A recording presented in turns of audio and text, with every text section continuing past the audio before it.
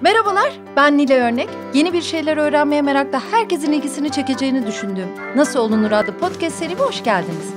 Bu seride mikrofonu mesleklerini ustalıkla icra ettiğini düşündüğüm insanlara yöneltip onlara aynı soruyu soruyorum. Nasıl olunur? Bu bölümde konuğum bar psikoloğu Ferhat Aydın. Hoş geldin Ferhat. Hoş bulduk. Çok enteresan bir mesleğin var. Sen anlatmak ister misin? Nedir bar psikoloğu? En sevdiğim soru. Bu, nedir bu bar psikoloğu? Ee, her şeyden önce gerçekten bir psikolog olduğumu söylemem lazım. Çünkü e, ne ya bu falan gibi çok acayip şeyler canlanabiliyor. Ee, ben 2011 yılında psikoloji bölümünü bitirdikten sonra e, birçok meslektaşım gibi hayalim terapist olmaktı. İşte Nişantaşı'nda kliniğimi açacaktım. İşte günde beş hasta gelse falan gibi hayallerim vardı. Niye Nişantaşı, ODTÜ Çünkü e, orası bizim e, semt gibi bir şey yani çünkü... yani Kızılay'da açmak çok naif bir hayal olurdu. O yüzden Nişantaşı yani.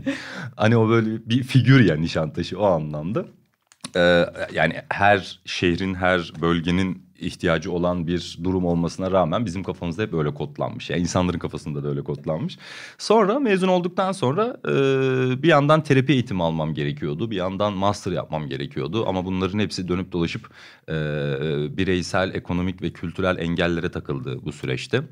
İşte Gaziantep'e gittim, işte Marmaris'e gittim, Düzce'ye gittim. Bayağı bir gezdim yani. Niye gittin oralara? Çünkü Ankara'da istediğim e, ve beni tatmin edecek işleri bulamadım ve ya bir şehir ne kadar büyükse, ne kadar psikolog varsa o kadar zorlaşıyor yeni bir mezun için. Dolayısıyla ben de haritayı açtım dedim ben çok psikoloğun olmadığı e, ama biraz daha işimi yapabileceğim, biraz daha yaşayabileceğim, nerelere gidebilirim diye düşündüm. Önce Erzurum'a niyetlendim. Erzurum'da işte bir iş ilanı gördüm. E, bakım merkezi kalacak yer veriyor. İşte müdürlük teklif ediyor. Dedim çok iyi ben 6 ay çalışır dönerim. Sonra adama telefon açtım. Dedim ki ya Abdurrahman Bey böyle böyle ben hani Erzurum'a geleceğim ama hiç bilmiyorum yani nasıl bir yer orası. Bana biraz anlatır mısınız dedim. Kardeşim burada AVM bile var gel dedi. İyi tamam o zaman ben geliyorum dedim. Sonra kendimi böyle Erzurum'a adapte ederken e, bu arada ek sözde falan bakıyorum şey işte Doğu'nun Paris'i falan her yer coşmuş yani. Sonra Antep'ten bir arkadaşım yazdı tam o günlerde. İşte burası çok iyi buraya gel hem iş bulursun hem güzel yaşarsın falan filan. Sonra Antep'i araştırmaya başladım. O da Güneydoğu'nun Paris'i. Böyle bana her yer Paris. Paris yani gideceğim yani kafaya koydum. Sonra 6 ay para biriktiririm dönerim falan derken ben çok güzel bir özel okulda iş buldum ve e, iki sene orada kaldım. Sonra askerlik için İstanbul'a geldim. E, askerliği yaparken işte hafta sonlarım ve beşten sonra boş olduğu için yedek subay askeri psikolog olarak yaptığım için terapi eğitimleri almaya başladım ve yavaş yavaş hedefime doğru ilerlerken Bakırköy'de bir danışmanlık merkezine girdim. Ama e, çok umduğum gibi olmadı çünkü e, günde iki saat metrobüste vakit geçirmem gerekiyordu. İşte 1500 lira maaşım vardı. Kadıköy'de yaşıyordum. Yıl e, kaç? 2015 gerçekten mesleki depresyon diyebileceğim çok kötü bir süreç yaşadım ve e, ya Google adım yazıyorsun bir şey çıkmıyor. Instagram diye bir şey yok o zaman doğru düzgün. O kadar hani yatırım da yapmamışsınız oralara falan. Ee, ve ben şunu fark ettim. Ben galiba bu işi yapamayacağım. Çünkü eğitim almam gerekiyor biraz daha. Kendi terapime gitmem gerekiyor. E, günlük hayatta kendimi beslemem için sosyalleşmem gerekiyor falan filan. Bunların hiçbiri olmayınca ben böyle bir kendi kendime şey moduna girdim. Yani ben iyi değilim ama bana iyi gelecek ne yapabilirim bu aralar? Sonra Taksim'de e, damsız giriliyor diye bir e, bar keşfettim ve her gün oraya gitmeye başladım. ve mekan sahibi Ergün abi kulakları çınlasın. Bir süre sonra beni böyle birileriyle tanıştırmaya başladı barda. Ve tanıştırırken de adımdan önce şunu söylüyordu. Aa psikolog var ha işte gelin falan. Şimdi böyle ayaküstü o kadar çok soru sordular ki bana. Elimde böyle içeceğimle bir süre sonra şeye döndü muhabbet. 5-10 kişi böyle beni dinliyor. Ben de böyle kafama göre konuşuyorum. Peki şu nasıl oluyor diyorlar. Bir şey soruyorum işte. Sence ben normal miyim? Terapiye ne zaman gideyim diyor. Bir şey anlatıyorum. Şu ilacı kullanıyorum ne yapayım diyor. Ben bir süre sonra şeyi fark ettim. Yani insanlar psikoloğa gitmek yerine ayaküstü bulduğu bir psikoloğu darlamayı daha çok tercih ediyor. Çünkü diş doktoruna da bunu yapıyorlar yani ağzını açan bir millet yani. Hani oturduğu kafede diş doktoru görünce. Onun gibi bir şey olmaya başladı. Ama bakkala da biz anlatıyoruz zaten. Ee, evet. Kafedeki e, kahve yapan çocuğa da anlatıyoruz. Evet. Psikoloğa tabii ki anlatıyoruz. Evet. Yani. Barmene anlatılıyor ve barda bir psikolog var. Of yani, yani bulunmaz of. nimet tabii, gibi. Tabii canım. E bir yandan da insanlar içince rahatlıyorlar galiba. Bunu da bir süre sonra gözlemlemeye başladım. Sonra Ergün abiye şey dedim. Abi burada bana sürekli soru soruyorlar ama artık aynı soruları soruyorlar. Ve mesleğimin o kadar bilinmeyen ortak yönü var ki ben bunu böyle bir toplayayım bir şeyler yapayım. Hani her hafta 10-15 kişi toplanalım bir program olsun falan. Sonra işte o zaman e, Facebook'tan bir event açtım. Tabii o zaman e, annemiz babamız üye şimdi ama o zaman bayağı etkiliydi yani Facebook. Ee, sabah bir uyandım 100 kişi geliyor etkinliğe. Öbür gün 200 kişi oldu. Sonra 5 günün sonunda 550 kişi geliyor işaretledi. Mekan 30 kişilik. Ya ben evde dolanıyorum böyle. Hani ne yapacağım bu kadar insana falan diye. Sonra böyle karikatür capslerden oluşan bir sunum yaptım. 30 tane. Ee, işte fotoğraflar, karikatürler falan. Ee, sonra barda sunum yaparak psikoloji anlatmaya başladım. Sonra baktım böyle doluyor, taşıyor ve dedim her hafta yapayım ben bunu. Bu oldu galiba falan demeye Peki başladım. Peki ismi neydi etkinliğin? Bu kadar kişi tak diye ismini görüp de Küçük etkinliğe psikoloji geldik. oyunlarıydı. Ha, güzelmiş. Çok güzel Ee, o da şeyden geliyor. Benim üniversitede e, en yakın dostum, ev arkadaşım Taner'e e, psikolojiyle ilgili yeni ve şaşırtıcı bir şey öğrendiğimde ona anlatırdım ve o bana şey derdi. He çok komik oğlum çok enteresan. Bunlar hep küçük psikoloji oyunları ha falan derdi. Çok hoşuma gitti böyle küçük psikoloji oyunları. Ha, şeyi anlatmakla biraz uğraşmadım değil ya. Oyun oynamıyoruz yani. Hani burada yani psikodrama gibi bir şey canlandırdı insanlar ama sonra her hafta şeyi görmeye başladım. Hani biz bir daha geleceğiz ama aynı şeyleri mi anlatıyorsun? Sonra ben sekiz tane konu başlığı çıkardım. Mesela kaygıyı anlatacağım ama şöyle duyuruyorum onu. İşte ne felaketler yaşadım zaten yoktular. İşte aşkı konuşacağız. Aşkın ve ızdırabın psikolojisi gibi. Böyle kelime şakalarını hep sevdim yani o zamandan beri. E, ama sonra her hafta yapınca e, işte 10 kişi geldi, 5 kişi geldi, 3 kişi geldi. Son hafta bir dayı geldi, içtik beraber. Dedim yok olmayacak, bu da olmadı yani. E, sonra ben çok yorulduğumu hissettim o dönem. Çünkü deniyorum olmuyor, deniyorum olmuyor, deniyorum oluyor gibi oluyor olmuyor. Ve bütün bunlarda tek bir derdim var. Mesleki tatmin yaşamak istiyorum. Yani terapi yapamıyorum. Ee, Birçok engel var önümde. Ve mesleğimle ilgili artık yeni şeyler denemeye başladım. Hani fal psikoloğu da bunlardan bir tanesi. Yani Taksim'de bir e, bilinen bir fal mekanına gidip kart vizitimi bırakıp müthiş bir fikrim var beni arayın falan dedim ama e, Allah'tan aramadılar. Şimdi bambaşka bir şey yapıyor olurdum. Şimdi Ferhat araya giriyorum ben. Buraya gelene kadar bar psikoloğu olarak ünlenene kadar e, bir yere gelene kadar kitap yazana kadar şimdi bir de kitabın var. Pek çok şey atlatmış. Yani biz bu podcast'i yapmayı planlamıyorduk. Biraz araya girmişken onu da söyleyeyim. Neden? Kafa Dergisi için İyi Şeyler Kafası adlı sayfam için Ferhat'la konuşmak istedim. Çünkü onun e, psikologluğu, psikolojiyi, rahatlamayı, terapiyi barlara, insanlara yani bar da önemli değil. Herhangi bir yere insanların ayağına götürmesi, daha rahat ortamlarda yapması, çözüm bulmaya çalışması çok hoşuma gitti. Bu benim için iyi şeyler kafası muhabbeti.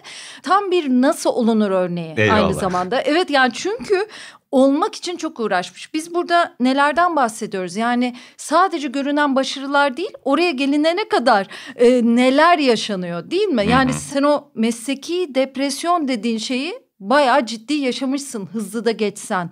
E, çok yere CV göndermişsin. Yani e, ben senin bir muhabbetini dinledim mesela. İşte Bakırköy Kadıköy arası yolculuk ederken bir yerler görüyormuşsun. Hemen böyle yazıp ondan Aynen. sonra CV gönderiyormuşsun. Aynen. Yani bu olma çabası. İnsanın içinde bir üretkenlik var. Üretmek istiyor, yapmak istiyor diyorsun ya mesleki tatmin. Yoksa para her yerden kazanırız değil mi? Bir şekilde bir mesleğin var. Kendini onda iyi hissediyorsun. Ee, onun için e, çok uğraşırken şöyle taksi psikoloğu mu olayım? Ondan sonra fal psikoloğu mu olayım ben? Fala bakarak e, bir şeyler mi söyleyeyim? Terapi mi yapayım? Bunların hepsini Ferhat düşünmüş değil mi? Hani bu kadar da hızlı geçmeyelim aslında Ha, diye araya değil mi? giriyorum. Çok hızlı oldu. Evet hızlı Yok yok çok güzel oldu. gidiyorsun. Şahane de anlatıyorsun ama ben vurgulamak istediğim için, altını çizmek Okey, istediğim için oradan çok güzel. geldim. O zaman son birkaç haftadır e, üzerine biraz daha akademik kafa yoğurduğum bir konudan girelim. Yaratıcılık. Tamam. E, çünkü ben bunun bir girişimcilik olduğunu, bir yaratıcılık olduğunu sonradan öğrendim aslında. Hı hı. Yani e, girişimcilik konusunda üstad bir e, hocamın bu bir girişimcilik hatta sosyal girişimcilik demesi üzerine benim kafam biraz açılmaya başladı. E, dolayısıyla ben arkadaşlarımla işte bir barda otururken içerken işte oğlum bir fikrim var işte müthiş bir fikir ortalığı kasıp kavuracak falan diye çıkmadım ortaya. Ben sadece ya ben mesleğimi bir şekilde yapmak istiyorum. Bu anlatıcılık da çok keyif veren bir şey e, ve insanların ihtiyaçlarını gideren bir şey. Onların kulağına kar suyu kaçıran bir şey. E bir de bunu keyifli yap, yaparsan çok güzel olur diye düşünerek. Aslında ihtiyaçtan doğmuş. Evet, oraya geleceğim. Yani yaratıcılıkla ilgili en önemli mevzu zaten farklı alanlarla ilgili e, gözlem ve bilgi sahibi olduktan sonra bun, bu alanları yakınsayabilme becerisi aslında yaratıcılık. Yani mesela domatesle yapay zekanın ne alakası var normalde değil mi? Hı hı. Şimdi 10 sene sonra şöyle bir şey olacak. E, tarlalar biraz daha yükselmeye başlayacak ve onları dronlarla kontrol etmeye başlayacak çiftçiler. Ve aplikasyonla oturduğu yerden...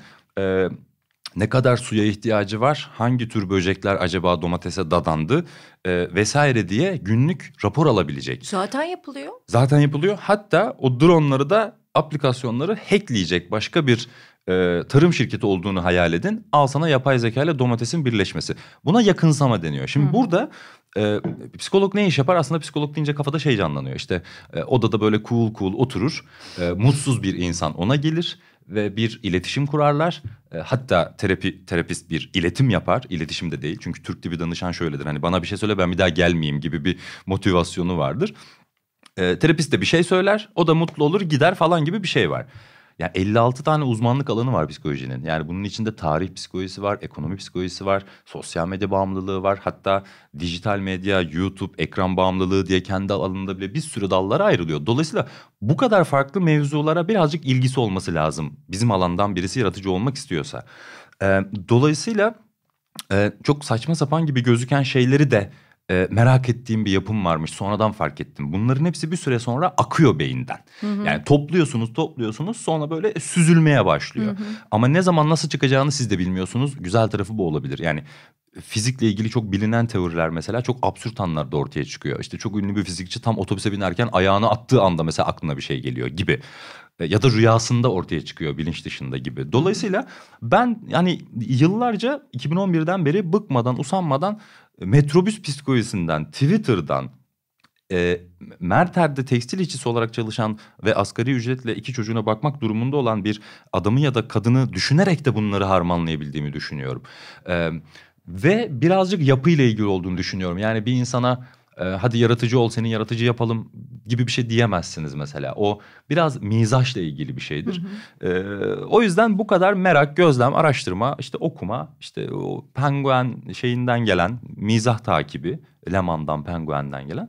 Bunların hepsi karikatürle psikoloji bilimini birleştirmeyi e, nasip etti diyeceğim. Yani çok da bilinçli canlılar olduğumuzu düşünmüyorum insan olarak. Çok rasyonel, aklı başında özgür iradeleri olan e, geçmişteki kararlarınıza bakarak bunu çok rahat anlayabilirsiniz. Yani çok e, anlamsız hareketler, işte aptalca kararlar verebilen bir canlı insan. O yüzden çok böyle özgür irademle bunu düşündüm, yaptımdan ziyade aktı bir süresi ona yani. Ama çok, çok istemişsin. Evet. Sen o işi yapmayı çok istemişsin evet. ve sana e, göre bir işmiş. Çok sana göre evet, bir evet. işmiş. O net yani ben şimdi bugünden bak bakınca e, seni dinleyince ya diyorum ki iyi ki iyi ki yapabilmiş. Yani çünkü Türkiye'de çok potansiyel harcanıyor.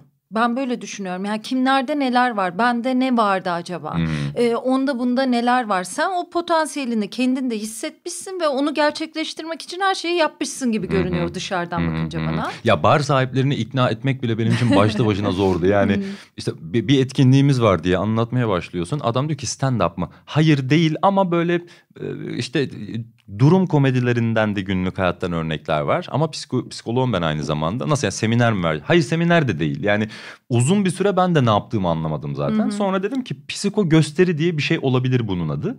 Ee, işte tek kişilik psiko gösteri. İşte iki saat süren bir psikoloji talk show aslında. Ee, tabii bu arada talk show yapan üstadları da izlemeyi gerektiren bir süreç. Yani yaptım oldu bitti patente aldın marka BKM'de 3 yıldır çıkıyorsa bitmiyor yani yeni başlıyor hikaye. Ben her zaman onu söylüyorum 4,5 yıldır bu işi yapıyorum. Ama son 6 aydır gerçekten ne yaptığımı farkındayım galiba. Hmm. Ee, ve bu daha başlangıç daha bir sürü fikir gelecek. Mesela psikotatil diye bir etkinliğimiz var. 2 yıldır psikotatil diye bir şey yapıyoruz. 3 gece boyunca sabah akşam psikoloji konuşulan bir e, tatil ortamı hayal edin. Psikodramalar yapılıyor, atölyeler yapılıyor, var psikoloğun konuşması var. Ve 20-25 insan Türkiye'nin farklı yerlerinden gelip muhabbet ediyorlar aslında. Yani hmm. biz diyoruz ki onlara biz böyle tatil yapıyoruz siz de gelin onlar da geliyorlar. Ya böyle bir konsept mesela. Ee, Psiko kafe bar var mesela. Yani bunlar çok her yerde dillendirmediğim şeyler. Ee, günü ve zamanı geldiğinde e, bir kafe bar hayal ediyorum mesela. Ee, çalışanlar psikoloji öğrencisi, işletmeci psikolog. Ee, köşede Freud heykeli var. Ondan tek gelen oraya oturuyor. İşte psikoloji kitaplığı var. İşte kimler depresyonda deyip bir anda anons yapıp şat dağıtıyorum falan. Böyle şeyler var kafamda yani. o yüzden e, bu ikisi çok e, güzel birleşebilecek bir alan. Yani mesela pub kelimesinin nereden geldiğini öğrendim geçen sene. Public house. Yani insanların o sanayileşmeyle birlikte kendi evlerinde daralmaları, sıkılmaları sonrasında ortak muhabbet edebilecekleri bir alana ihtiyaç duymaları ve public house zaman içinde de pub diye kısalması. Yani bana ilk başta şey dediler özellikle meslektaşlarım izlemeyenler işte bu iş burada olur mu etik mi falan filan. Ben de onlara şunu anlatmaya çalıştım. Etik mi diye sorguladığınız kısım terapi kısmı. Ben terapi yapmıyorum zaten orada. Yani terapiye ihtiyacı var mı yok mu insanların bunu anlatıyorum ve terapinin ne olduğunu anlatıyorum. Yani size hizmet ediyorum zaten. Bir köprü gibiyim arada yani. Hı hı. Yüzleştirme yapıyorsun insanlara. Evet yani kulaklarına kar suyu kaçırıyorum. Oradan çıkarken diyecekler ki ha ben bir gideyim ya böyle bir mevzu varmış. Hı-hı. Ya da psikolog böyle oluyorsa ben giderim ya hep de kasıntı değilmiş galiba falan Hı-hı. gibi. E, bu bir ihtiyaç yani hani insanlar e, sosyalleşmek için mutlaka evlerinden dışarı çıkma ihtiyacı hissediyorlar. Ama psikoloji kültürleri de doğal olarak çok olmadığı için çünkü ne zaman gidilir, kime gidilir, ne yapacağım, bu süreç ne kadar sürüyor, e, benim bir arkadaşım 3 sene gitmiş ama memnun değilmiş falan diye gelenler oluyor. Ben bir gittim bir daha gitmem diyenler oluyor. O kadar çok deneyim var ki insanların terapiyle ilgili. Bunların hepsini toplayıp toplayıp bir paket halinde sunduğum bir talk show aslında bir ihtiyaç yani bence. Bence de öyle. Peki bize o ortamı anlatsana. Sen hem illeri bize anlat hem ya çok soru birden soruyorum değil mi? Ben hepsini hazırım şu an hepsine. Hem insanları bize anlat. Neler soruyorlar, ne gibi problemleri var. Hem de bir ortamı bize çiz, hayal edelim.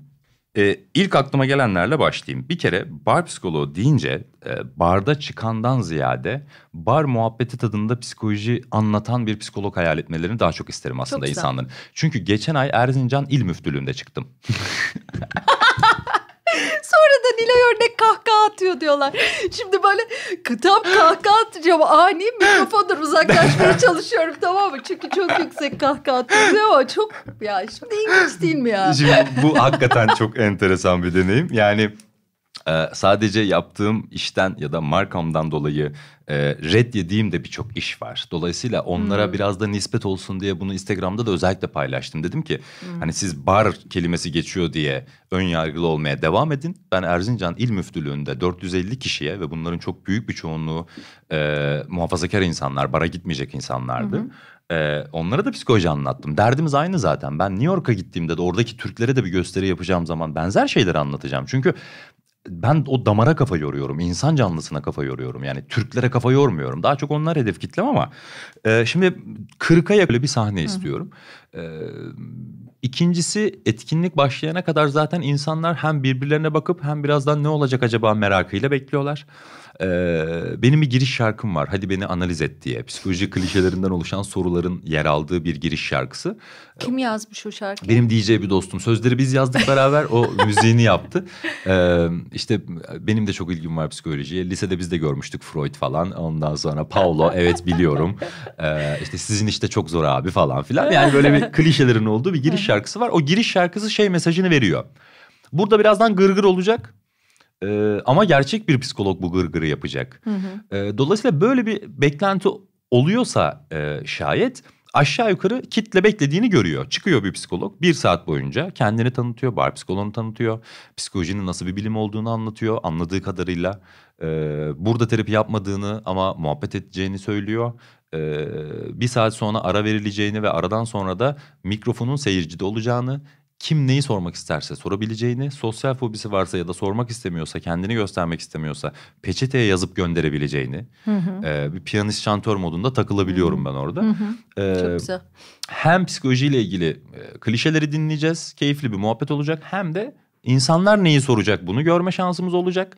E, hem de benim merak ettiğim bir şey varsa soracağım.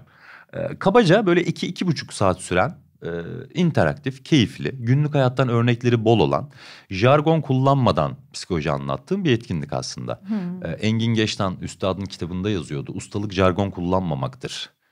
Ya canım benim Allah Aa, rahmet eylesin. Evet. Yani o kadar severim ki böyle her yayında bahsedesim gelir. Öyle yani mi? böyle konuları konuştuğumuz Ben de biliyormuş gibi ondan örnek verdim. Evet evet e, çok seviyorum. Ya peki sana başlangıçtan bu yana güzel tepkiler ya da aşırı kötü tepkiler nelerdir? Ö- Öyle bir şeyler geldi mi? Çok. Ee, Çok derken araya şöyle de gireyim. Meslektaşlarından da nasıl tepkiler daha çok onlardan ilk başlarda. e, Negatif. olumsuz tepkiden ziyade galiba olumsuz tepkiden çok e, merak oluşturdu. Ne yapıyor bu orada acaba diye. E, mesela beni eleştirenlerin en önemli ortak noktası bunu çok net söyleyebilirim. Beni izlememiş olmaları. Ya da izleyip ya bana gıcık olmaları ya da kendileriyle ilgili bazı dinamikleri bende görüyor olmaları. Dolayısıyla e, meslektaşlarımdan ilk başlarda gelen eleştiriler şu anda biraz daha azalmış durumda. Çünkü e, her yere gittim ben. 30 üniversiteye söyleşiye gittim kendimi anlatmak için, bar psikoloğunu anlatmak için. Biraz daha azaldı onlar. E, en çok gelen eleştiride e, bu ruh sağlığı gibi ciddi bir konu bar gibi alkol alınan insanların sarhoş olabileceği bir ortamda konuşulur mu? En çok bu soru işaretiydi. E, ben de sonra bizim alanda en çok bilinen isimleri işte Mehmet Zihni Sungur, Emre Konuk, Cem Mumcu, Sinan Canan. Hani o psikolog değil ama psikoloji bölümünde hoca. Ee, Alp Karaosmanoğlu, Ayşe Bilge Selçuk bunların hepsini BKM mutfağa çağırdım, davet ettim. Ve hepsi beni izledikten sonra aşağı yukarı benzer geri bildirimlerde bulundular. Ve onlardan aldığım geri bildirimler beni daha çok net ve dik durmaya itti aslında bu alanda. Ee, şu tepki daha çok geliyor ama bunu e, söylemeliyim. Yani e, çok yaratıcı bir iş, çok bravo. Gerçekten işte e, çok gü- güzel bir ihtiyacı doldurdun. İşte ne güzel bir kafa bu, böyle şeylere ihtiyacımız var. Bunlar daha çok geliyor. Şöyle bir şey var, yaratıcılıktan bahsetmişken şunu da ekleyeyim. Bir ürünü ya da bir fikri ortaya atıp eyleme geçmiş olmanız bile yetmiyor bazen. O fikrin kayda değer ve önemli bir fikir ve iş olduğunu insanlara da anlatmanız gerekiyor bir yandan. Ee, Bu bugünün çağın durumu zaten. Evet aynen Hele öyle. de kendin o işi yarattıysan yani zaten bir iş yapıyorsun onun tanıtımını göstermesini de yapacaksın artık. Bu Aynen öyle. çağın durumu o. Bir de o işi sen neredeyse icat ettiysen diyeyim. Seninki çok farklı bir durum. Anlatmak zorunda Evet. kalacaksın maalesef Evet, lanetin yani. Aynen öyle. Peki senin bir tane küçük bir videon var. O videoda bir tane böyle tescil belgesi gördüm. Tabii ki onu Evet. anlatmak için yaptığım bir şey ama gerçekten bu işi tescil ettirdi mi diye düşündüm. Tabii tabii bar psikoloğunun tescili var. Yani dolayısıyla ha çok iyiymiş ben de yapayım la olmuyor aslında. O yüzden ben insanlara şunu söylemeye çalışıyorum özellikle meslektaşlarıma. Ya benim yolum buydu bu çıktı. Ben bunu çok planlamadım. Ama yetenekli olduğumu düşündüğüm ve sevdiğim işe yöneldiğim zaman e, bir de pes etmediğin zaman senin de karşına bir öykü çıkacak ve o senin öykün olacak zaten. Ha sen ille bunu yapmak istiyorsan yine yap. Yolu yordamı bu zaten. Hı hı. Ee, o yüzden bu az önce saydığım markaların da patentleri var. Ama e, farklı içerikte herkes her şeyi yapabilir. O ismi kullanamadıktan sonra. Peki genel olarak ne sorunlar görüyorsun? Şöyle em, tabii ki ilişkiler yani em, tabii ilişkileri konuşurken de e, yani ilişki sadece ilişki değil. Yani orada insanı anlamak, aile dinamiklerini anlamak, e, dünyaya nasıl baktığını anlamak, sosyal medyada profilinin nasıl durduğuna bakmak hepsi o kadar önemli ki. E, mesela işte insan niye aldatır diye soru soruyorlar. E, bu üç gün konuşulacak mevzu yani. evet yani. Dolayısıyla hani işte doyumsuz erkek aldatır. Ya yok öyle bir şey yani primatolog e, araştırmalarına baktığında allak bullak oluyorsun. Atalarımız bir dakika başka türlü yaşamış galiba. Bizim zannettiğimiz gibi bir canlı değil insan herhalde falan diyorsun. Bir yandan bakıyorsun evlilik insan doğasına ne kadar uygun. Evlilik sektörünü ortadan kaldırdığında yanında 25 tane sektör daha ortadan kalkacak. Ha demek ki bu bununla ilgili değil işin içinde ekonomi de var diyorsun oraya dalıyorsun. Yani o kadar çok çetrefilli mevzular ki ilişki deyince sadece ilişkiyi konuşamıyoruz. Ee, sosyal medya ile ilgili sorular geliyor mesela. Hı, bu ne, la- ne geliyor mesela? Mesela insanlar niye bu kadar selfie çekip kendini beğenme konusunda işte e, çok paylaşım yapıyor? E, ya da e, o bi- biri bizi beğendiğinde bizde ne oluyor da tekrar bir paylaşım yapma ihtiyacı hissediyoruz. E, partnerinin e, başka bir insanın fotoğrafını beğenmesi nasıl bir kıskançlığa yol açıyor? Bu kıskançlık mıdır ya da nedir bu falan? Ya da aldatmanın tanımı sosyal medyada konuşmaya başlayınca aldatmaya giriyor mu? İlle buluşması mı lazım? Ee, işte sevişmesi mi lazım? Yoksa düşünmesi yeter mi falan filan böyle e, her türlü yönden gelebiliyor. Başka ne geliyor? Psikolojik bozukluklarla ilgili çok geliyor. Mesela bipolar, borderline, depresyon bunlar nedir aslında? Mesela depresyon deyince kafamızda canlanan şeyden çok daha farklı e, şekillerde ortaya çıkabiliyor depresyon. İlle e, umutsuzluk, işte yataktan kalkamama, cinsel isteğin azalması, iştahın değişmesi falan o, ya karşımıza her zaman böyle çıkmıyor. Mesela haftanın dört günü pilatese giden ve e, bangır bangır proje etkinliklerle insanların içine karışmaya çalışan bir insan da gizli bir depresyon yaşıyor olabilir. Bıraktığı anda bütün her şey depresyona girecek zaten. Hani benim gözümde o da depresyon. Hı. Ama depresyon böyle korkulacak bir şey değil zaten. Hani birazcık bu kavramlara bakış açılarını da değiştirmeye çalışıyorum. Yani depresyon yıllarca senin yüklendiğin yükün aslında çok anlamsız olduğunu ve sana bir yük olduğunun mesajını veren bir durum, bir hal de olabilir. Ee, ille böyle hastalık dememize gerek yok gibi. Ee... Ferhat ne kadar güzel konuşuyorsun sen konuşurken. Yani teklemeni bekliyorum biliyor musun? Tekle... Teklemeni 400 izleyeceğim sahne oldu. yani. 400 sahnede insanların bu kadar sorularını cevaplayınca galiba bana su deyin yarım saat konuşayım yani. Önceden de mi böyleydin? Yani... Değildim yok değildim. Yani biraz konuşabiliyordum ama e, insanların sordukları sorular benim hiç düşünmediğim şeyleri düşündürtmeye başlayınca, hı hı. bilmediğim şeyleri de etkinlik sonrası göz atmayı alışkanlık haline getirince e, beynimdeki folderlar artık birbirine böyle hani şey gibi oldu. Mozaik değil de ebruli sanatı gibi oldu. Yani neyin içinden ne çıkacak belli olmuyor kafada bir süre sonra.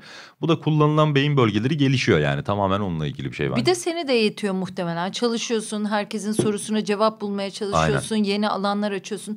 Peki o toplanmalardan önce kendine konular belirliyor musun? İlk öyle başlamışsın ama bugün de hala öyle mi? Şunu fark ettim ben. E, kimler ilk defa beni izliyor diye sorduğumda yüzde doksan ilk defa izliyor. Hmm, tekrar tekrar gelenler de var onu da var, vurgulamak lazım. Var. E, 15.ye gelen tipler de var bazen. E, Soruyor musun niye diye? Ya sen niye buradasın anlamadın mı? Kaç kere anlattım falan diyorum.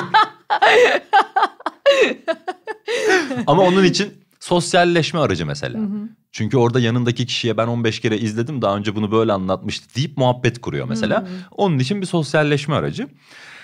Birinci perdede anlattığım şeyler aşağı yukarı yüzde yetmişi sekseni aynı. Ana iskelet aynı. Ne anlatıyorum? Ee, bir psikoloğa sosyal ortamda sorulan klişe sorular.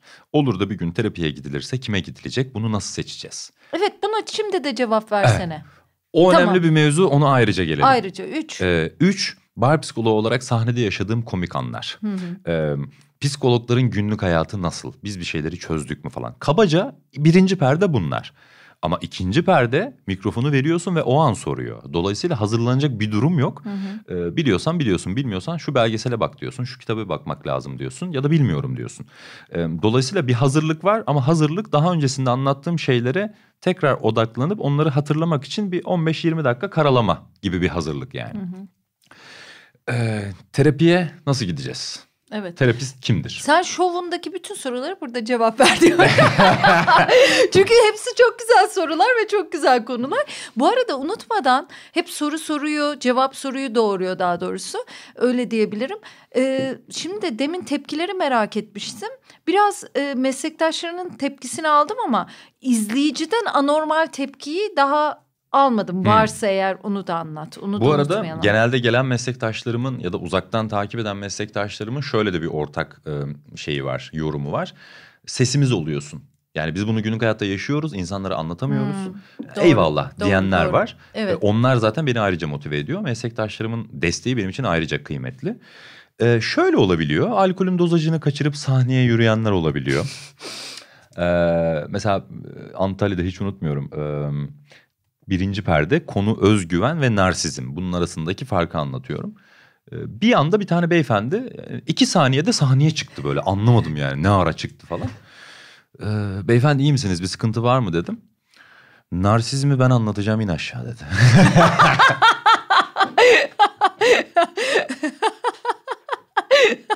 ne anlattı anlattırdın mı? Dedim ki yani siz yani okey ama hani mesleğiniz ne bunu merak ediyorum. Psikiyatrist misiniz dedim. Evet dedi. Sonradan öğrendim ki aile hekimiymiş. Ee, hani antidepresanların yüzde doksanını o zamanlar onlar yazdığı için böyle bir psikiyatrist moduna girmişler galiba. ee, yani o o kadar öngörülemeyecek bir ortam oluyor ki orada. Hmm. Mesela kız arkadaşı bir soru sorduğunda ee, ama bu soru çok anlamlı değil. Daha bu soruyu sorarken bu cümlenin içindeki şu kelimeyi bilmiyorsunuz dediğimde erkek arkadaşının kızıp o gece ek sözlükte bana yardırması gibi şeyler de olmuyor değil. ee, dolayısıyla birilerinin damarına e, bastığımı hissediyorum bazen ama hmm. burada da kendimi şöyle birazcık e, telkin ediyorum. Birilerini rahatsız etmiyorsan yeterince iyi bir iş yapmıyorsundur. Bu güzel bir düstur. Yani bunu gerçekten e, edinmeye çalışıyorum. Çünkü başarının ne olduğunu bilmiyorum ama başarısızlığın ne olduğunu biliyorum diye bir laf var. Herkesi memnun etmeye çalışmak. Hmm. Şimdi bu laflar kulağımıza çok hoş geliyor ee, ama bir anda sizi şöyle bir konuma sokmuyor. Evet abi birilerini rahatsız ediyorsun iyi ol. Öyle değil yani hala gelen eleştiriye böyle kırılıp üzülüp evde ya niye beni anlamadı ki burada falan dediğim oluyor. Bu çok e, naif çok ve insani. insancıl bir taraf. Tabii, Aynen. Tabii, tabii. E, o yüzden bana ne kim ne derse desin de diyemiyorum. O eleştirileri hala e, alıp dikkate almaya çalışıyorum. Eee işte nasıl söyleyeyim sosyal medyada bazen aynı mevzuları paylaştığımda ya sen de sıktın artık falan deyip takipten çıkanlar da olabiliyor. Çok çok anlaşılır bir durum bunların hepsi. Ee, erkeklerin özellikle böyle 3-5 kişilik erkek masalarının e, daha çok goy goy motivasyonuyla geldiğini söyleyebilirim. Yani hmm. bazı şehirlerde özellikle. E, onlar da çok anlaşılır. Yani orada e, adamın anasıyla ilgili bir anısını anlatıyorum mesela. Onu hatırlamak istemeyecek tabii ki yani. Bu çok hmm. anlaşılır. Mevzu benimle ilgili değil. Orada kendi yaptıkları goy goy ne benim dikkatimi dağıtmak için ne beni sevmedikleri için. Mevzu onlarla ilgili. Hmm. Bunu psikolojik açıdan düşündüğüm için kendimi biraz daha rahat hissediyorum galiba artık. Tabii işin olduğu için senin için daha kolay. Peki evet. diğer sorumuza geri dönüyoruz. Evet. O da şu. Psikologumuzu nasıl seçeceğiz? Gerçekten çok çok önemli bir şey ya bu. Şimdi şöyle e, psikoloji bitirdiğimiz zaman terapist olmuyoruz. Önce bunu bir netleştirmemiz lazım. Ya da e, psikiyatri bölümünü bitiren bir doktor aslında Hı-hı. terapist olarak oradan çıkmıyor. Hı-hı. Eğitimi almak başka bir süreç ve başka bir e, zahmetli yol. 3-4 sene süren teorik terapi eğitimlerinden bahsediyorum. Ee, onun üzerine yine bitmiyor. Kendi terapiye terapisine gitmekten bahsediyorum. Çünkü kendi defolarını, yaralarını görmeyen bir terapistin iyi bir terapist olabileceğini düşünmüyorum. Hı hı. Ee, kendi ölümlülüğüyle yüzleşmeyen bir terapistin danışanın bilinmezlikleriyle ya da ölümlülüğüyle baş edebileceğini düşünmüyorum. Ee, yetiyor mu gene yetmiyor. Süpervizyon diye bir şey var. Mesela ben terapi eğitimini bitirdim. İşte seni aldım terapiye başladık. Ben sana diyorum ki ben şöyle bir süreçteyim eğitimim devam ediyor. Ses kaydını alıp hocamla bu süreci götürebilir miyim? Biraz usta çırak ilişkisi gibi aslında bizde de öyledir yani. Ben ses kaydını alıyorum hocama diyorum ki işte Nilay bana geldi şöyle bir durum var. Ee, üçüncü seansta şurada ben tıkandım ya da gıcık oldum Nilay'a diyorum. Hı hı. O da diyor ki gel bakalım Nilay'a niye gıcık oldun? Çünkü Nilay'la ilgili bir mevzu yok. Sen niye gıcık oldun diyor ve ibreyi tekrar bana çeviriyor. Ben de o süreçte yıllar içinde kendi yaralarımı ya da defolarımı görme üzerine bir süreç yaşıyorum. Yani 10 sene süren bir eğitimden bahsediyoruz. Dolayısıyla işte 50 saatlik bir sertifika e, alıp eğitime gidip ya da işte bilmem ne kursuna gidip yapılacak bir mevzu değil bu gerçekten. Hı hı. E, ha bunların hepsini yaptı. Dünyanın en iyi terapisti, CV muhteşem. Gittin ilk seanstan olmadı, tutmadı. Tutmadı enerjin ya da gıcık oldun ya da bir şey oldu. Burada birkaç seçenek var. Bir, maalesef e, birazcık deneye yanıla ilerleyen bir süreç bu. İki, e, hangi konuyla ilgili gidiyorsanız terapistiniz bu konuyla ilgili çalışıyor mu? Bunun bir ön araştırmasını yapmak yine çok mantıklı. Çünkü mesela Türkiye'ye aile terapisini getiren adam benim hocam da şiddet çalışmıyorum deyip şiddet varsa yönlendiriyordu birinci seanstan. Her şeyi çalışamazsınız yani kulak burun boğaz bile kulak olmaya başladı sadece. Hı hı. Dolayısıyla o işin uzmanı spesifik olarak mesela şunlara gitmeyin. Instagram'da çocuk, aile, ergen, eğitim, kurumsal, online terapi ya sen ne yapıyorsun? Dolayısıyla bir, açık büfe. Evet yani hani bir spesifik uzmanlık alanı bizim işte önemli diye düşünüyorum. Ee, zaten Dört yıldır insanlara hangi mevzu ile ilgili nasıl bir terapiye gitmek istiyorsunuz bununla ilgili bana her zaman ulaşabilirsiniz diye sahne sonlarında bunu anlatıyorum ve bana Instagram'dan ya da bir sosyal medya mecrasından yazdıkları zaman hangi şehirde hangi konuyla ilgili nasıl bir terapiste ihtiyaçları var çok fahiş olmayan ve etik çalışan meslektaşlarıma yönlendirme yapıyorum. Hı hı. Dolayısıyla öyle bir işlevim de var artık. Hani adam diyor ki ben Kars'ın köyünde öğretmenim. Al o zaman sana online terapi. Bir hafta sonra İstanbul'a gel birinci görüşmeyi yüz yüze yap. Hı hı. Sonra online yap. Ee, dediğim gibi birazcık CV'yi araştırmak, birazcık gideceğiniz konuyla ilgili çalışıyor mu ona bakmak. Etik ihlallere ne kadar dikkat ediyor. Mesela o oda dışında hiçbir yerde görüşemezsiniz. Bu bizim kırmızı çizgilerimizden bir tanesidir. Evet ya bunu vurgulayalım çok, ya. Çok aksini duyuyorum ve maalesef e, çok böyle üzücü sinir bozucu durumlar olabiliyor. Çok bilinen insanların, çok ünlü terapistlerin e, danışanıyla o odanın dışında başka yerlerde başka ilişkilere girmesi, başka muhabbetlere girmesi çok sık yaşadığımız bir şey. E, bu suistimale çok açık bir alan. O yüzden bu kadar altını çiziyorum. E, zaten siz o anda e, tırnak içinde yaralı bir halde bir yere gidiyorsunuz ve size sunulan şeyin yara bandı mı yoksa yaranızı daha çok pekiştirecek bir şey mi olup olmadığını anlayamazsınız doğal olarak. O yüzden ilk seansta etik kurallardan ne kadar bahsediyor bu da önemli. Peki sosyal medyada takip mesela e, sen bir terapistsin ya da Evet. psikiyatristsin e, sosyal medyada bir hastanı takip etsen. Evet. Bunlar çok yeni yeni tartıştığımız mevzular. Ee, sosyal medyanın yaygınlaşmasıyla Mesaj attın ilgili. o ihlal belki atmadın izliyorsun ama o ne? Şimdi şöyle bir şey var. Hmm, gerçekten iyi terapistlerin çok orada burada hesapları olmaz bu bir. Hmm. Olanlar kötü terapistlerdir demiyorum. Benim duyduğum hatta benim de şu an gittiğim terapistimin Instagram'ı falan filan yok. Ee, Ama onlar da insan. Ha şimdi psikologlar bunu çözmek için iki tane farklı hesap olayına girdiler. Bir tanesinde UZM, PSK, işte uzman psikolog bilmem ne. Bir tanesi de işte günlük hayattan e, ad soyad. Orada dekolteli bir şey paylaşıyor isterse. isterse bir partiyi paylaşıyor. isterse işte elinde sigarasıyla bir şey paylaşıyor. Öbür tarafta sadece photoshoplu oşo sözleri paylaşıyor. Hala o şu mu ya değişmedi. Bunu böyle çözmeye çalıştılar ama eee, insanlar araştırıyorlar gerçekten. Terapistlerinin hayatını merak ediyorlar. Mesela bana terapiye geliyorsun diyelim. E, ben DM'lere bakmıyorum diyelim. E, e, bir akşam kafam güzel. Şu DM'lere kim ne yazmış diye bir baktım. Senin mesajını gördüm. Sen de görüldüğü gördün ve ben sana cevap yazmadım. of.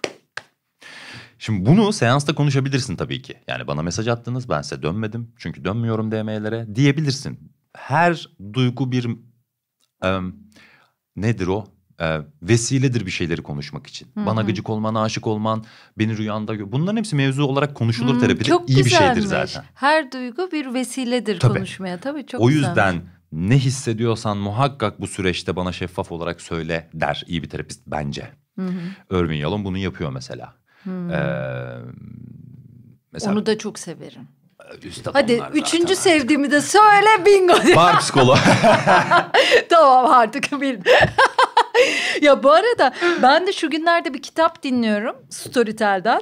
Ee, bir psikiyatristin gizli, Gizli defteri. defteri, evet. Zaten çok ünlü bir kitaptı Evet. galiba. Hani bir beş sene önce falan mı çıktı tabii tabii şey? böyle çıktığında da hani o dönemi başlatan hani psikiyatristlerin biraz vaka anlatmasına Evet. dair Bir psikoloğun kitaplardan arka bahçesi, terapistin gizli anıları bilmem ne odası Birkaçını falan. okuyamadım ben Hı. ama bunu Bayağı dinliyorum. ama. Evet ya birkaçı beni sıktı mesela yani böyle bu kadar sarmadı. Şu anda senin anlattıklarınla güzel bir kitap dinlediğimi Hmm. fark ettim. Ekstra fark ettim. Ben meraktan dinliyordum hani ne oluyor ne Muhtemelen bitiyor diye. o kitaplar biraz daha insanların ilgisini çekebilecek e, enteresanlıktaki hikayeleri konu Tabii alıyorlar. vaka anlatıyor ama burada niye özellikle bu kitabı söyledim? Diğer pek çok kitabı yarıda bırakmış olabilirim. Bu e, Doktor Gary Small'un kitabı. E, şöyle ki Mesela e, gençliğinden başlıyor bunları anlatmaya. İlk terapist olma Hmm. e, deneyiminden. Mesela bir tanesinde e, yani deneyimlerinden birinde e, bir e, genç hanım geliyor ve gittikçe açık giyinmeye başlıyor. Onunla ilişkisi onu zorluyor ve Evet. hep bir yardımcı danışman doktor var. Onunla paylaşıyor. İşte bakamayacağı e, duruma ket koyacağı durumu belirliyor. Hı hı. Hep birileriyle böyle e, şey diyalog halinde ve kendiyle tartışmasını bir terapistin anlattığı için çok hoşuma gitti.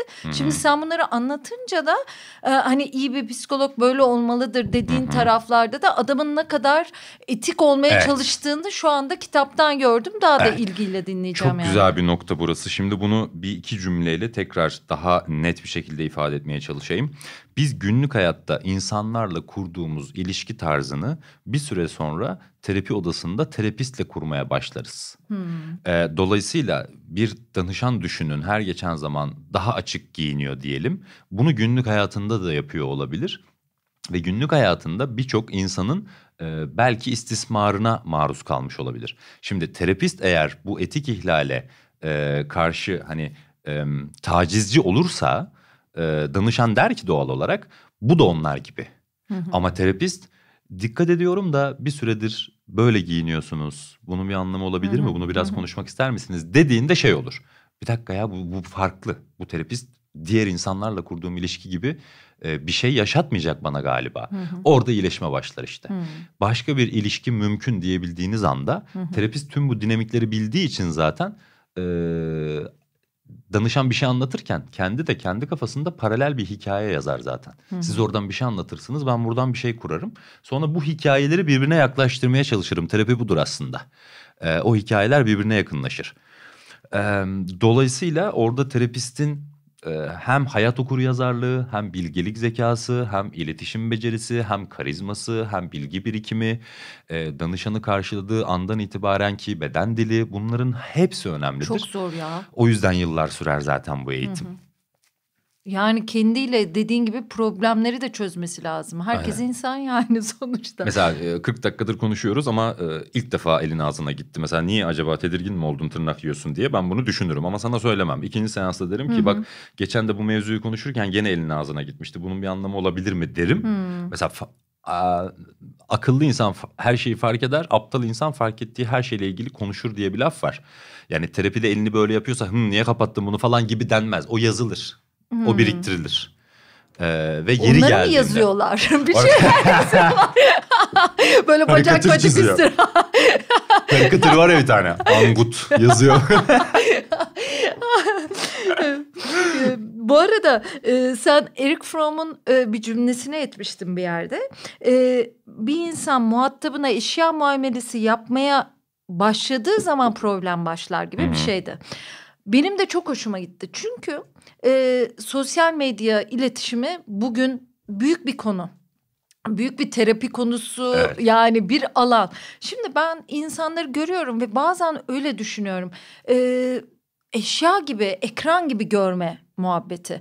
Black Mirror 3. sezon 1. bölüm gibi. Gıcık oldum falan. Ya tabii canım şey ya zaten Black Mirror müthiş değil mi sizin açınızdan? Yani müthiş alan... ama e, beni biraz şüphelendirmeye başladı bazı konularda. Bu kadar dehşet şeylere hazırlıklı olun mesajını veren bir duyarsızlaştırma işlevi de görüyor olabilir. Ya tabii. Şimdi Netflix'te yaptıkları şey bana şey ısmarlama bir şey doldurma gibi geliyor. Evet. Biraz hızlı yapılmış. Evet. Hep e, kötü tarafından görüyor ve e, sürekli elime ne o telefon ya bütün gün elinde telefon var diyen bir babaanne gibi. Ya evet. bu çözüm değil ki yani bunu evet. zaten e, evet. anne de söylüyor babaanne de söylüyor. Yani sen buna karşı ne yapıyorsun? Ya tabii yapmak onun görevi değil hani o dizinin işi değil de evet. hani bir bölümde de değişik olunur. Mesela ilk sezonda bir Ryan Kurzweil bir bilim katıyordu bir bilmem ne katıyordu falan. Şimdi bol dehşet katıyor. Yani Bak, sende de benim gibi beyin hiperaktivitesi var. Erik Fromm'dan hemen dağılabiliyorsun. Black Mirror için Hem ayrı nasıl? bir bölüm yapalım. Sonra da arada patlıcan musakka tarifi verebilirim. Ünsal Oskar gibi.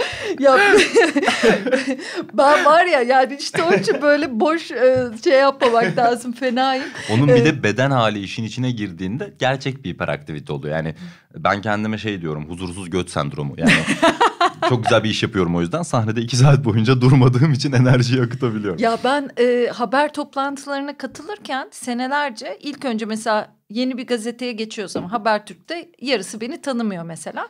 Toplantıları gireceğiz. Herkese derdim ki ben şimdi siz haber konularınızı anlatırken dergi okuyor, gazete okuyor, not alıyor gibi görüneceğim. Evet. Ama sizi dinlemek için yemin ederim buna ihtiyacım var. Evet. Çünkü benim ikincil bir şey yapmam gerekiyor. Onları evet bazen de çok sıkıcı konularda konuşurken dinleyebilmek için. Yani evet. işte hiperaktivitenin öyle bir durumu var. Ama konuma geri dönüyorum. Her seferinde geri dönerim. Bilgisayarda Şimdi... çalışırken de 10 sekme açıyor musun? Ee, ne yapıyordum ben en son Hem falan? de nasıl? Güzel. Güzel. ya çok beter, çok beter ve sürekli dağınığım. Evde de öyle yani her şey sek. Düzensizlik bizim için düzen aslında. Yani bizi rahatsız etmiyor o yani. Evet. Çünkü koyduğumuz yeri çok iyi bildiğimiz için buluruz yani. Evet. Neyse Eric Fromm. Eric Fromm. Şimdi bu sosyal medyaya gelirsek. E, karşındakini ekran olarak görme. Yani... E, tepkili, duygulu, duygusal insanlar olarak görmeme nedir yahu? Ee, algıda mallık diyorum. ya gerçekten senin barda terapi yapıyor olman güzel bence. Şimdi bir terapist şimdi o etiketi diyemez cevap- bunu diyemez evet bunu diyemez. Bunu neden merak ettin Nilay'cığım falan diye. Çünkü Çünkü çok dertliyiz işte. Şöyle şey lafı vardı günümüzde artık herkes birbirinin ihtiyaç nesnesi. Hmm. Hmm, Şöyle diyelim ben de lakana girmemek için zor tutuyorum kendime umarım girmeyeceğim. Ee, benim arzu nesnem sen ol e, demem beni tatmin etmiyor. Ben istiyorum ki senin arzu nesnen de ben olayım. Hmm. Ee, orada e, işler biraz çetrefilli bir hale geliyor. Mesela kadınlara çok güzel, çok içten bakan bir adam hayal edin. Müthiş bakıyor ama yani kadının böyle yağları eriyor falan. Şimdi şöyle bir şey olabilir. O adam demeye çalışıyor olabilir ki ya da ihtiyaç duyuyor olabilir ki ya ben sana öyle güzel bakıyorum ki sen de bana öyle bir güzel bak. Yani senin bana bakman için ben sana bakıyor olabilirim aslında. O yüzden hikaye dönüp dolaşıp psikoterapide olsa, kabalada olsa, ezoterik de olsa kendine dönüyor. O yüzden kendine dönüyor zaten hikaye. Ee, sosyal medyada birbirimizi mesela özellikle kadınların birbirini desteklemesi çok tatlıdır. İşte aşkısının minnoşu nasıl çıkmış ballısı falan filan. Hani erkeğin öyle bir şey yaptığını çok düşünemeyiz yani. Orada hmm, biliyorum ki ben ona aşkısının ballısı ne güzel çıkmış dediğimde o da yarın bir gün bana yorum yapacak. O bir bir bir karşılıklı böyle bir ihtiyaç giderme hali. Kötü mü değil. Ee, ama e, her gün buna ihtiyaç duymaya başlıyorsak artık ya da her gün Twitter'da birilerini e, trollüyorsak, öfkemizi kusuyorsak o artık duygusal mastürbasyona giriyor. Yani senin derdin başka bir şey kardeşim. Twitter'da, Instagram'da birilerine yorum yapmak ya da like almak değil. E, dolayısıyla bir insan bir yere bakıyorsa orada onu ilgilendiren bir şey vardır. Bir insan bir yere bakmıyorsa orada onu ilgilendiren bir şey kesinlikle vardır. Yani kendine Güzel. kendine bakmamak için bu Freud'un sözü. Kendine bakmamak için telefonuna bakanlar online mı diye bir şey yazmıştım geçen. Çok güzel. yani e, bu sosyal medya bizi bitirdi falan değil. Yani sosyal medya olmasaydı bizi başka bir şey bitirecekti zaten. Çünkü e, günde 10 saat e, sosyal medyada vakit geçiren bir insan sosyal medya olmasaydı başka bir yerde vakit geçirecekti. Çünkü e, bağımlılık dediğimiz şeyin mekanizması biraz şöyle çalışır. Bağlılık problemi yaşayan insan zaten bağımlı olmaya daha yatkındır. O yüzden sosyal medya olmasa YouTube olacak. O olmasa porno bağımlılığı olacak. O olmasa işte kola bağımlısı olacak. Yani bir bağımlılık varsa ortada bir bağlılık problemi var. Hmm, Bağlanamayanlar bağımlı oluyorlar. Yani yakın ilişki kurmakta zorlanan yakın ilişki başka bir güzel konumuz tabii. Çat- çatışma yoksa e, ona ilişki demiyoruz mesela. İşte İrfan'la 10 yıldır hiç tartışmadık. Bravo gerizekalı. Yani onunla o ilişki o değil yani. Hani 30 yıllık bir arşiv var orada. 30 yıllık bir arşiv var. İkimiz bir araya geliyoruz. En az 60 yıllık bir arşiv var. Nasıl çatışmazsın? Yani bir taraf alttan alıyor, bir taraf yok sayıyor, bir taraf ignore ediyor demek ki. Bir şey var orada çatışmaların e, yetişkin bir modda çözüldüğü bir e, yakın ilişkiden bahsediyorum. Dolayısıyla o e, sosyal medya sadece sosyal medya değil, insanların halleriyle ilgili bize çok fazla dona veren bir mecra aslında. Mesela çift hesapları vardır bayılırım onlara. Barda onu da anlatırım. İşte Ayşe Ahmet Öz Yılmaz. Ya ben kimle muhatabım şu an acaba? Değil mi? Mesaj atıyorum doğum günü mesela. Kimin doğum günü ya? Bizim tanıştığımız gün bizim doğum günümüz. Ya o çok malzeme veriyor. Güzeldir ya. Tanıştığımız gün o. Evlendiğiniz günde gibi. Aynen aynen. Bir de şey var mesela. Eee aşkısının ballısı e, Berkecan'ın annesi işte Mamof Ataberk ondan sonra en altta şey öğretmen en altta da onu yazmış yani. Ya sen Ayşe'sin işte Ferhat'sın ya bitti ya bu kadar. Oo sen bize baksan neler göreceksin acaba bu da çok tehlikeli. ya ben bir de şunu görüyorum. Mesela e, uzun süredir yani ben Instagram'ın herhalde ilk günlerinden beri varımdır. Çünkü çok meraklıyımdır ben teknoloji falan bir şey oldu mu girerim. TikTok'a girmedim ama yani o da benim ya eksiğim o oldu. tavuk taklidi yapanlar için de bir mecra güzel oldu ya. Yok çok merak ediyorum ama hani gerçekten gireceğim. o 30 alana milyondan gibi. fazla tekil kullanıcı var TikTok. İnanılmaz bir dünya. Bence pazarlamacılar, şirketler, psikologlar orayı kaçırıyorlar. Acilen bakmamız lazım. Başka bir Gazeteciler şey de var orada. kaçırıyor işte ben deli gibi izlemek yani. istiyorum Çok ama güzel bir mecra ya. Vaktim oraya gidecek. yani eminim yani ben çünkü ona büyük bakarım. Öyle şeyleri çok severim ben.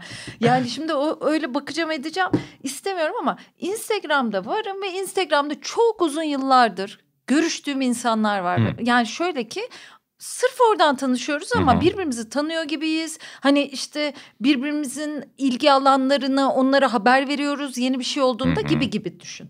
Sonra biri geliyor mesela e, çok hayran davranıyor bana. Ben korkarım çok hayranlıktan. Yani büyük Yarım hayranlıklardan. saat önce hayran olmak diye bir not almışım ve hayran olmaktan niye korkmamız gerektiğini anlatmak için. Ha, çok güzel. Müthiş. Onu sen anlat o zaman. Ben Müthiş. niye anlatıyorum? ben senin orada bir şeyler çiziyorsun ama yazın hayatta okunacak gibi değil. Çok Tam bir danışan kaygısı ne çiziyor ya bu orada şimdi? yazıyor mu çiziyor mu bir şeyler böyle şey gibi hani cezaevinde şeyler olur ya böyle Aynen, aynen. kaç Bunu gündür buradayım hani öyle çizgiler olur aynen ona benzer bir yazısı var İyi, hayranlığı sen anlat ben sadece Şöyle şunu hayran söyleyeyim. olmaktan korkmak lazım. Aslında söyleyeceklerim bu kadardı Evet. ama biraz daha şöyle ben de yaklaşabiliriz. belki. hayran olunmasından korkuyorum çünkü Evet. Nilay Hanım ben size hayranım her Sebep. gün mesaj Sebep. Ben soruya soruyla cevap veriyorum. Sebep. Aa, sebep demiyorum ben. Mesela- Kendimce sebepleri var çünkü. Ya o kadar eminim ki o sebep. Öyle gibi oluyor. sebep aramıyorum. Sonuçta bana baktığında da hayran olunması için çok sebep var. Haklı yani. Yok öyle demiyorum ama şimdi ben anında bir korkuya kapılıyorum. Sebep çünkü onun ne olacağını zaman? Siz- biliyorum. yani sen niye korkuyorsun mesela? Ben niye korkuyorum? Onun düşüşünü bana yaşatacağından eminim. Anlatabiliyor muyum? Çünkü ilk izlemeyi bırakan o oluyor. Yani Evet, niyeyse ama. Yani Evet. hani niye hayal kırıklığına uğrattı? Zaten ben o yüksekte değilim. Onu İşte biliyorum. borderline toplumun bize yansımaları. Yani bir anda yükseliyorsun, bir Çok anda yükseliyor. düşürüyorsun. Çok yüksek insan görüyorum. Şöyle e, bana mesela birisi e, işte idolümsün ben de senin gibi bir psikolog olacağım falan yazıyor ya. Mesela iç sesimde olan şeyleri söylüyorum şu an. Ya Yazık beni nasıl görüyorsa artık oradan.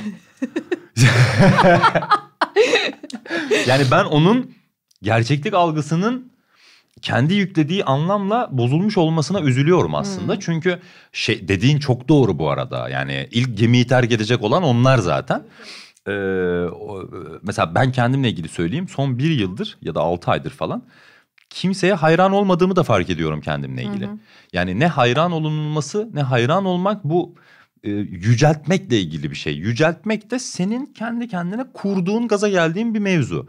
Ee, yani adamla 24 saat vakit geçirsen belki bu neden Tabii, tabii, diyeceksin tabii. yani. Dolayısıyla orada gerçek bir şey olmadığı için e, beni korkutuyor. Yani psikologlar mutluluğun peşinde değildir dedim. Psikologlar gerçeğin peşinde aslında. Ne oluyor tam olarak orada? Onun peşindeyiz yani.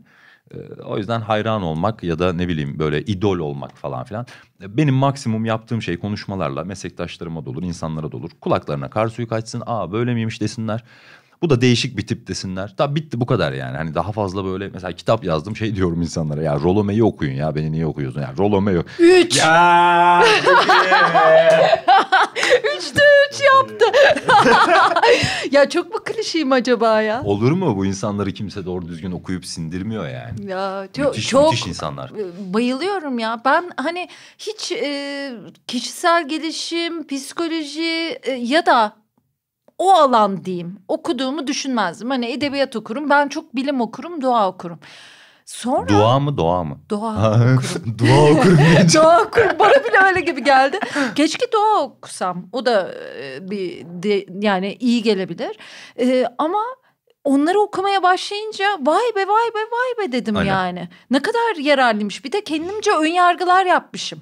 Yani bu insanlarla ilgili büyük ön yargılar Tabii yapmışım. birçok insan yarıda bırakır o kitapları çünkü zordur yani sindirmesi, anlaması. Ben tekrar tekrar okuyorum. Kutsal Bayağı kitabımdır şey kendini arayan insan Rollo May'in. muhteşem bir kitap ya. Yani ben onu böyle kazıya kazıya çiziyorum. Aynen. Yani yanlarına bir şeyler yazıyorum. Evet. Tekrar tekrar okuyorum. Ben kitabın çıkmadan önce Rollo May dağıtıyordum BKM Mutfak'ta ve diğer gösterilerde. İlk Hmm. soruyu sorana kitap veriyordum. Çok güzel. Neler No. okuyalım öyle? Şöyle Rollo May benim kutsal kitabım. Cinselliğin Şafağı var mesela Okyanus yayınlarından. Hmm. Ee, insan tek eşli midir, çok eşli midir, nasıl bir, neden cinsellik yaşar falan gibi bir Çok içeriği güzel. var. Ee, Yankı Yazgan çocuk ve ergen psikolojisiyle ilgili çok beğenirim. Kitaplarını yıllardır okumaya çalışıyorum. Ee, başka ne olabilir? Ee, Özge Orbay var benim çok sevdiğim canım hocam. Onun Instagram sayfası henüz kitap çıkarmadı. Onun Instagram her bir postu bir kitap gibidir zaten. Böyle pamukla döver yani. Çok çok beğenirim onun tarzını. Ee, başka kim olabilir? Engin Geçtan'ı Engin Geçtan'ı zaten. zaten. Engin Geçtan, Rolome, Cinselliğin Şafağı, işte Eric Fromm, Adam Phillips. Bunlar 5 yıl götürür zaten insanları yani. öyle kitaplar bunlar yani. Bence de öyle ya. Ya gaza getiren kitaplar değil çünkü bizim işimiz gaza getirmek değil yani. Rollomay'in şu tespiti mesela e, günde birkaç kere kendine ne hissediyorum diye sorarak başlayabilirsin diyor. Hmm. E, çünkü duygu okur yazarlığı kötü olan bir e, toplumda e, ilişkiler de kötü oluyor. Kimse ne hissettiğinin farkında değil. Kendine şunu sormuyor. Bana şu an ne hissettiriyor bu acaba falan diye bakmıyor yani. Hani sürekli bir şikayet ve e, kötüleme, nefret, haset hali olduğu için tabii gömmeyeyim toplumu. Yani çok şey dinamikler de var tabii. O kolektif toplumun getirdiği iyileştirici mekanizmalar da var ama e, son 10 yıldır biraz işler değişmeye başladı. Biraz e, tek başımıza değiliz ama yalnızız gibi yani. Öyle bir hmm. e, dinamik var orada. Ve insanın dermanı yine insan. Başka çaremiz yok yani. Göz göze diz dize bir muhabbet dışında başka seçeneğimiz yok. İnsanın birlikteliğe de bireyselliğe de ihtiyacı vardır ama bu ikisi uçlarda olduğu için zorlanırız zaten. Hmm. Ee, yalnız kalma ihtiyacımız da var. Bireysellik ihtiyacımız var ama birliktelik ihtiyacımız da var. Bunun dengesini tutturmak sıkıntı. Ee, günde beş defa annesiyle konuşan bir yetişkine de bunu söylemeye çalışıyorum. Yani ne konuşuyor olabilirsin günde beş defa annenle? Ee, 35 yaşındasın niye hala ailenle yaşıyorsun?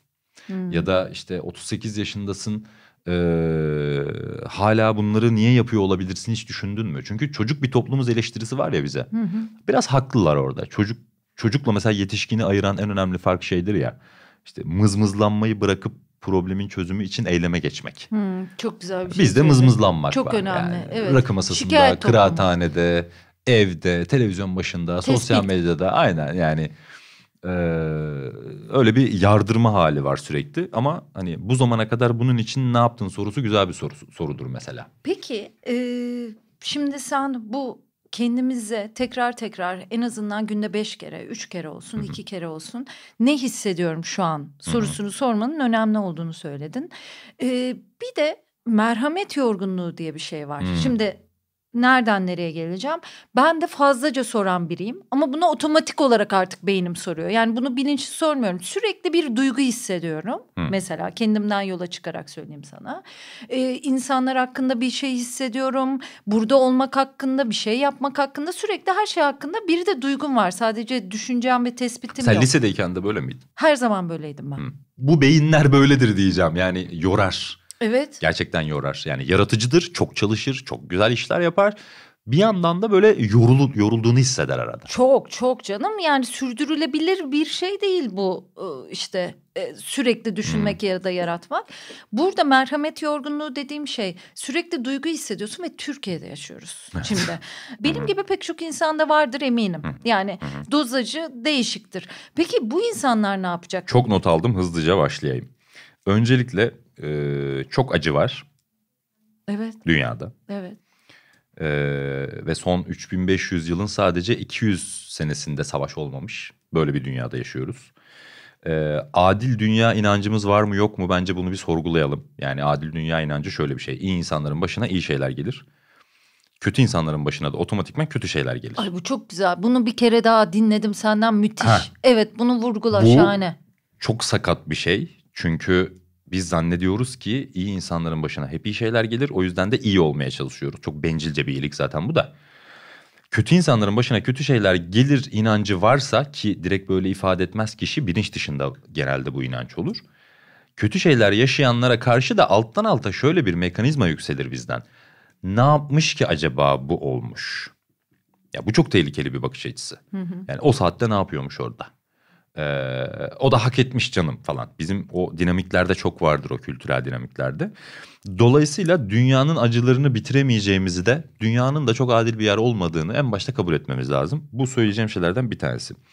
Ee, iki, yani insan olduğumuz için bir süre sonra duyarsızlaşmak ve unutmak zorundayız. Başka çaremiz yok. Böyle bir coğrafyada iki günde bir bu kadar gündem olunca hani bizim toplumu balık hafızı olmakla ilgili çok eleştirmek istemiyorum. Çünkü unutmak zorunda. Ne yapsın insanlar yani? Yaşayamaz ki. Aynı şeyi düşünüyorum evet. Şikayet kültürü, duygus, duygusal mastürbasyon bir süre sonra enerjinizi tırnak içinde iyi işlere yöneltebiliyorsanız, üretkenliğe yöneltebiliyorsanız, yaratıcılığa dönüştürebiliyorsanız bunun bir anlamı oluyor. Evet.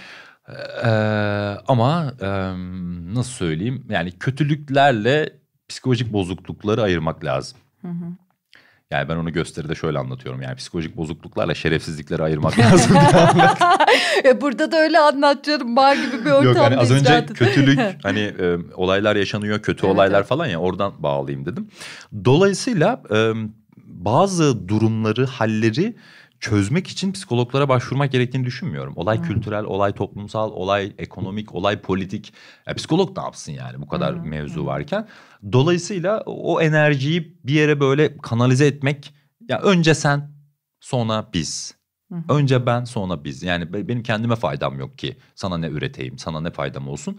O yüzden diyorum işte bu e, bu merhametin ya da e, empatinin bir tık aşırısı varsa soru şu olabilir. Ya bende bu niye var? Nereden geldi? E şimdi bu soruları boşuna sormuyoruz. Bu soruların ardından e, bir öz bilinç gelecek. Rollo May'in deyimiyle. O öz bilinçten sonra ben daha yaratma cesaretine sahip bir insan olacağım. O, o yolu. Yani ilim ilim bilmektir, ilim kendim bilmektir. O yüzden oradan geçiyor hikaye. Sen bunları yaptıktan sonra, bu yolda yürüdükten sonra kendine bakmaya devam edip ama bir yandan da kendine bakım vermeyi de ihmal etmezsen zaten güzel bir şey çıkacaktır diye düşünüyorum. Bu yayını nasıl bitirelim Ferhat? Nasıl bitirelim? Ee, ezoterik felsefeyle bitireyim mi? Hadi bitir. nasıl istersen öyle bitir. Valla e, benim böyle kulağıma küpe yaptığım bir şey var. E, galiba Jung'un lafıydı. Birisi sizi rahatsız ediyorsa e, sizinle ilgili bir şey vardır. O insanlara biraz yakından bakın diye. Hani birine gıcık oluyorsanız e, ona biraz daha yakından bakın diye. Ezoterik felsefede bu altı aynalı bir odada yaşadığımızı anlatan metafor var. Yani dünya altı aynalı bir odadır. Ve sen dolayısıyla nereye bakarsan, hangi aynaya, hangi köşeye bakarsan kendine dair bir açı görürsün, bir şey görürsün.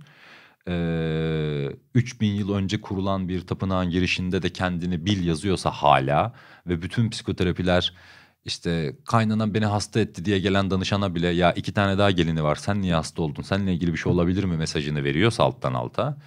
Ee, tamam dünya böyle insanlar böyle ama sen ne yaptın tüm bunun sonunda diye soruyorsa e, hepsi beni tek bir yere götürüyor. Ee, gerçek kendilik dediğimiz bir şey var. Yani nasıl canlandırabilirim bilmiyorum kafamızda ama e, iyi hissetmek motivasyonuyla, toplumun yüklediği e, sıfatlar motivasyonuyla, birilerine işte bilmem ne yapmak motivasyonuyla değil de sadece ve sadece böyle hissettiğim ve böyle yapmak istediğim için yapabildiğim, kendimi gözetirken bir yandan karşı tarafı da gözetebildiğim, e, o Engin Geçtan'ın kirpi metaforunda olduğu gibi birbirimize yaklaşma, uzaklaşma ve ideal yakınlığı bulma hali e, yakın ilişkiden kaçmadan tüm kendimize bir yandan bakarken bir yandan da bakım verebildiğimiz e, bir hal aslında. Yani ne kadar anlatabildim bilmiyorum. Çok güzel anlattın. Vallahi mı? Dinleyeceğim Vallahi şimdi. vallahi bayıldım.